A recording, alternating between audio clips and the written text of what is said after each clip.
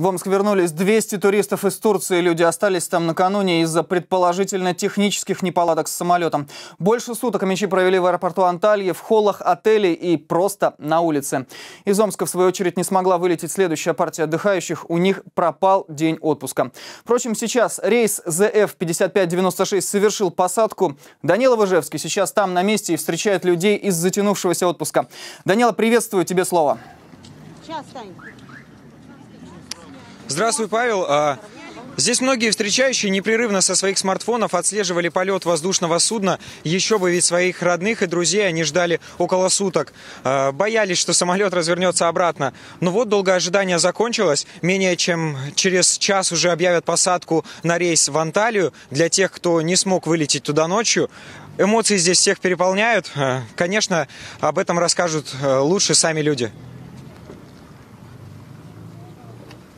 Встречаю тетю, дядю, как бы, конечно, ожидания утомительные, но самое главное, чтобы все хорошо было. Отслеживали, конечно, пытались э, на табло, смотрели, когда вылет, когда прилет, вот это все, как бы, переживали, конечно.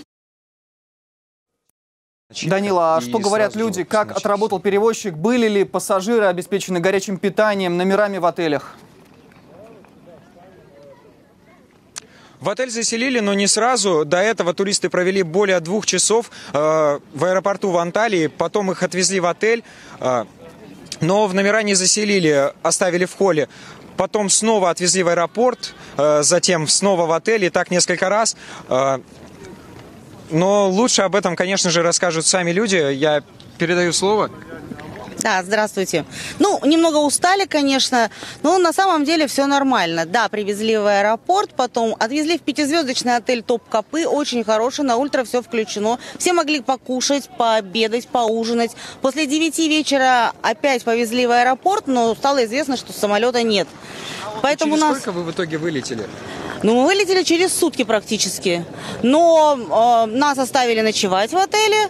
Утром покормили всех завтраком, отвезли в аэропорт. Ну и в аэропорту мы уже зарегистрировались и практически сразу улетели. То есть, ну так, конечно, тревожно, но ничего страшного. В данном случае Анекс сработал очень хорошо. То есть всех отвезли, разместили в отеле. Спасибо большое. В отеле. А, также люди собираются подавать иск в суд. Многие из-за задержки рейса не успели вовремя выйти на работу. Ну и, наверное, большинство из них потребует моральной компенсации. Данила, а все-таки из-за чего произошла задержка рейса? Почему настолько поздно самолет вылетел из Омска? Мы связались с компанией-перевозчиком. Свою вину они отрицают, так же, как и неисправность воздушного судна, ссылаются на то, что во всем виноваты турецкие диспетчеры. Потому что там с бортами у них там проблемы, они намешали борты, много рейсов, поэтому вот такая вот и ситуация пошла, замена всевозможная. Фу, не дай бог неисправности. Я, для, у, меня подру, у меня другая информация, то, что там какой-то, э, что там с, именно с планом полетов бы напутано было. Данила, спасибо большое. Поблагодари, пожалуйста, своего собеседника. Я напомню, в аэропорту Центральный встречал задержавшихся туристов из Турции наш корреспондент Данил Выжевский.